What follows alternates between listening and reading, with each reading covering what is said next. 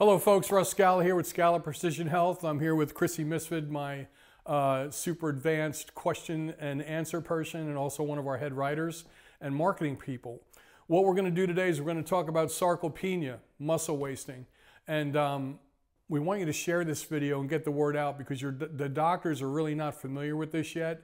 So we're looking at muscle wasting in the elderly, starting at 50 and on up uh, sarcopenia is considered muscle wasting. This was sarcopenia was considered a disease in uh, the year 2000.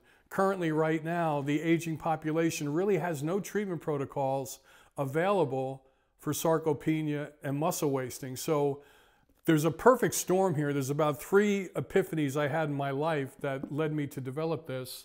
Uh, one was when uh, I was a paramedic and I used to take people into nursing homes um, I remember uh, I would have to go into their home and pick them up, and they, you know they're 85, 90 pounds, skin over bone. I would move them over to my stretcher, and and these people were so thin, and I always remembered they, they didn't. Have, most of the people that I, I transferred in there didn't have any any any muscle at all, so that always stayed with me. Fast forward another 10 years. I became a triathlete. I was racing all over the country. I started testing triathletes and bodybuilders. And I always wondered why are these older bodybuilders hanging on to muscle mass? Uh, after a long distance triathlon, I would go back uh, to the finish line and watch the elderly people, the 60, 70, 80 year old age groups, cross the finish line and notice they, they, they were very well muscled. Um, fast forward another 20 years, I became director of research for pharmacy, and we started opening anti aging centers from Boca Raton to Beverly Hills and here was the real deal. I started seeing people in their 70s, 80s, and 90s still maintaining muscle mass with the nutritional and hormone replacement therapy. So I've been researching this and asking questions for about, um, about 30 years, folks. So what I want to do with you today, I want to paint a picture. I don't want to get too complicated. I want you to understand what we have here at Scala Precision Health that could help you or a family member. The doctors out there, we could incorporate this into your clinic uh, for the assisted living centers, we could develop this inside your assisted living center so, so your clients and patients can stay with assisted living and not move into a nursing home. So let's, uh, let's move over to some questions and see uh, if we can educate you folks, okay? Chrissy. All right. Well, first let's start with sarcopenia. That's a big word. Yeah. And uh, what is it? We said already said it was muscle wasting, so we know that. But uh, how does that happen? Why do people get sarcopenia? Well, I think, and uh, what, yeah, what, what happens is as we age, you see our intestinal tract here. We don't we don't pull nutrients out of food, so our intestinal tract uh, gets out of balance. So you are not what you eat; you are what you absorb. So you could eat all the protein in the world and all the carbohydrates, but if you're not absorbing it out of your intestinal tract, um, you're going to start mining nutrients from your own muscle tissue. So people will start to lose muscle mass in their 30s. So uh, we got to think about that. You are not what you eat, you are what you absorb. And, and again, remember that the doctors really don't, really don't know how to treat this. So, so the fact that your your intestines aren't absorbing nutrients out of your food, um, or even if you have taking supplements, it's not absorbing that either. Um, leads your body to steal the nutrients it needs out of your muscles and your bones and your brain and your right. heart, right? And that creates the sarcopenia. Right. Every day we need about 13, about uh, 20 minerals, 13 vitamins, nine amino acids, two essential fats, a little bit of sunlight. If we don't get that, if we don't pull that out of our own food, we're going to mine it from our muscle, bone, and brain tissue, and that's and that's what we're trying to avoid. So, like I said, sarcopenia or muscle wasting was considered a disease in the year 2000. Here we are in 2022, and if you were to take your mom into the doctor's office and you wanted to help her maintain her muscle mass, there's no treatment protocol. So this is this is why we're developing this. Um, so so you said you can start losing muscle at age 30? Yeah, right, right around 30, women and men start start losing testosterone, growth hormone, and progesterone. Again, everybody's biochemically unique. Uh, stress, elevated cortisol shuts off growth hormone, IGF 1. It impacts skin, bone, heart, brain. So chronic stress actually suppresses you know, all, all, all, your hormonal levels. Oh, nobody has any chronic stress these days. So, all right. Um, I I know you like the outliers. You just you just mentioned that you worked you were you uh, ran triath uh, triathlons, um, uh, marathons, and um, you worked with bodybuilders. So tell us a little bit about your work with bodybuilders and how you connected the dots with sarcopenia. Yeah, well, one of the things about bodybuilders, they they use a lot of uh, anabolic steroids, and what we can learn from bodybuilders is they maintain high volumes of muscle and um, a lot of the research out there right now, the doctors really are not, and the, and the, and the PhDs in physiology are trying to figure out ways to study the elderly people to maintain muscle mass. Well, I say let's study the bodybuilders. Let's study the AIDS patients. Let's study the anorexic patients and, and look at what's happening to them on a cellular level. And then we can move that over to the elderly. For instance, no, nobody in nobody over 60 is getting their intestinal tract checked. So why you know why don't we start there? Why don't we balance out the gut, help them pull no, more nutrients out of food?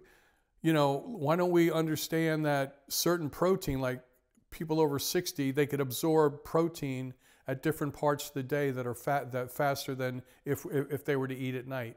So we know that fasting, you know, accentuates or, or, or causes longevity. You know what I mean? So muscle is a longevity organ. And we were going back and forth on whether it's an organ or not. But um, yeah, muscle is considered a longevity organ. We have to maintain it, you know, as we age. And the treatment protocols that we developed at Scala Precision Health will, will be able to help folks may maintain their muscle mass. But you don't need to be a bodybuilder muscle mass. No, no, too much. That's that's too much. That that much muscle actually accelerates the aging process. I love the bodybuilders because they share. They were so open with me in sharing information. Um, eating six meals a day, 10,000 calories, elevates blood glucose and insulin. I actually did a, a, a show with Dorian Yates, six-time Mr. Olympia, and we were studying why the bodybuilders, so many pro bodybuilders were having heart attacks and dying. And um, it gets back to the, the maintaining that high amount of muscle mass, damaging the lining of the arteries. So we, we really drilled down on that. Again, we want to maintain the right amount of muscle mass. Uh, Brian's going to show a video right now um, of, uh, of two, two, two, two or three or four women. I think it's a race. And, and folks, what I want you to do is clean the chalkboard in your head. Everything that you thought about elderly people, clean it from your head. Because watch this video. It's very instrumental. It's very short. But these women are all over 100 and they're running a 100 yard dash. I'm just saying. Isn't that inspirational? That's going to be me. You know what I'm saying? that that that because what, what what I want you to understand is when I think about when people say, Russ, I want to do exercise, what's gonna you know what's gonna help me age properly? And I say, just start walking, start walking and do a little bit of jogging. That helps your heart, that helps your muscle, that helps your mitochondria on a, on a cellular level. So let's let let's let's run this video real quick.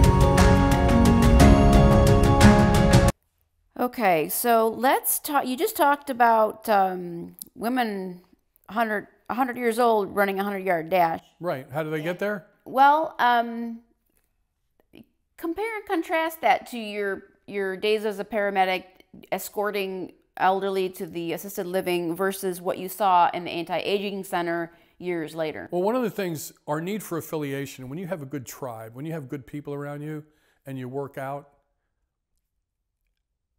possibilities are endless. So these women that were on a track team, they worked out as a group together. They, they probably never even considered running a 100 yard dash or running in a race like this, But they put the heads together. They started maybe running 30 yards and maybe running 50 yards. But as a team, they kept training. Some of them may, may have been ex athletes. But the point of the matter is running, running and maintaining your heart function that, that's what we want to do. We want to stay mobile. A lot of people are not mobile once they get you know, once they get to a certain age. Watching TV in nursing yeah, home. Yeah, yeah, they become less mobile. So I'm not saying everybody needs to run a marathon or needs to run a 100 yard dash, but if these women were 100 years old and, and you just watch them cross the finish line, they were mobile, they have to train uh, together, their heart is working great, their digestion is working great, and they're hanging on to muscle.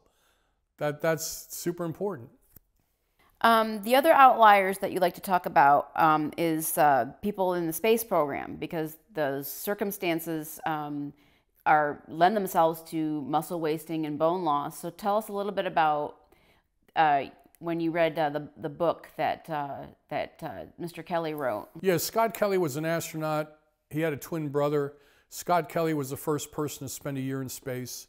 Um, his book started out with he was he was home for about a week and he had really bad inflammation. He was trying to walk from the bathroom to the uh, uh, to his dinner table, and we've ne- we've never before treated anybody in space. So I started drilling down not only on the book that I read about Scott Kelly, but also on the treatment protocols. So people that spend a lot of time in the hospital, they have muscle wasting. People that are AIDS patients have muscle wasting. Anorexics have muscle wasting. All right. People that starve themselves in concentration camps went, went through muscle wasting. So there's a lot of other areas that we could study that we could sort of take over to the Scott Kelly paradigm when, when he was in space. So if he was in space for a year, my question is why don't they measure his testosterone levels? Why don't they help him maintain muscle mass with check his intestinal tract? So there's a lot of, and again, not shooting anybody down, but there's a lot of stuff NASA isn't doing. So that's why companies come along like SpaceX and they do more advanced treatment protocols. They, it seems like once you become a bureaucracy, you, you get tunnel vision. Everything's got to be done the same way. We need innovation. And we can study muscle mass and muscle wasting in so many different groups and then just apply it to the NASA program. Well, and you can relate, you know, to, to the everyday person.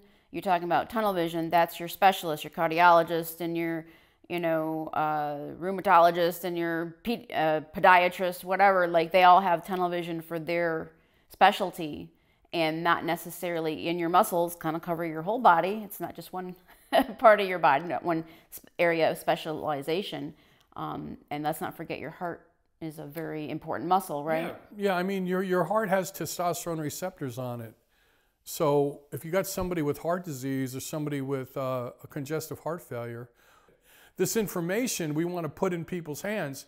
And folks, what we're talking about muscle wasting today, you, you'll be able to ask your general practitioner um, tougher questions so we can start ordering the blood work you need to get ahead of this, okay? Because we're all going to lose muscle.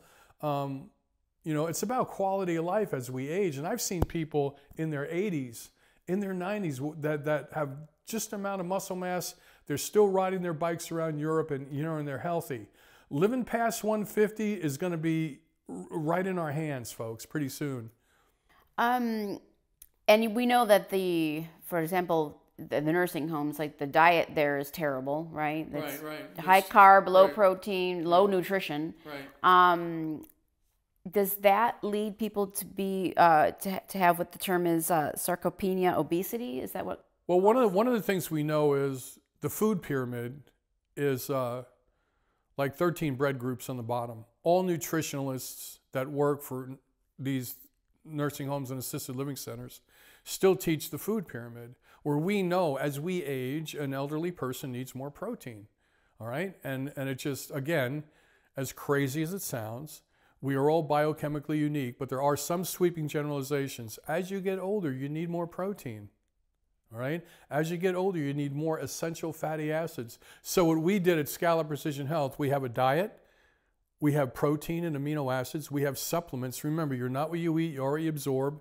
So we think of that when we're taking care of an elderly patient. So we went down to Boca Raton and we were going to set up a muscle wasting program in a facility, and we talked to the owners. And uh, Tony and I went down there, and we they showed us our business plan. They wanted us to build a room to do all this advanced testing, and, th- and that's what it was about we, we, we were going to use uh, muscle wasting. We were going to prevent muscle wasting. The only thing different is they were going to use those suits that had the electrical muscle stimulation. Mm-hmm. They would use muscle electrical stimulation while they were working out with light weight to stimulate the muscle to, to grow a little more, which is another another whole video. So your program includes looking at the microbiome, like looking at the gut. There's Right. testing for that, right? Yeah, yeah, yeah, exactly. Um, testing the uh, hormone levels, Right. testing the uh, nutrient levels. Exactly. Anything else? What else? Well, we got a lab and a pharmacy that work with us. So whether we're developing a, a assisted living center, or we're opening a freestanding clinic, or we're just working one-on-one with the elderly, um, we want to look at vitamins, minerals, amino acids. We want to look at testosterone, estrogen, progesterone, thyroid, T3 and T4, the microbiome, and also we want to measure the mitochondria, you know, on a cellular level. So that that that's sort of the 60,000 foot view of the program that we're talking about. So sarcopenia, folks, is a big word, um, but it's about muscle wasting. You want to do the right amount of exercise just to maintain your muscle mass. You don't need to spend hours in the gym. But the multifactorial program that we developed that looks at diet, nutrition, hormone replacement, the gut, the microbiome, and mitochondrial function, that's the package that we're probably 10 years ahead of traditional medicine with. Okay. Um, is there anything we didn't cover yet? No, no, we're good. We're good. I like that right here.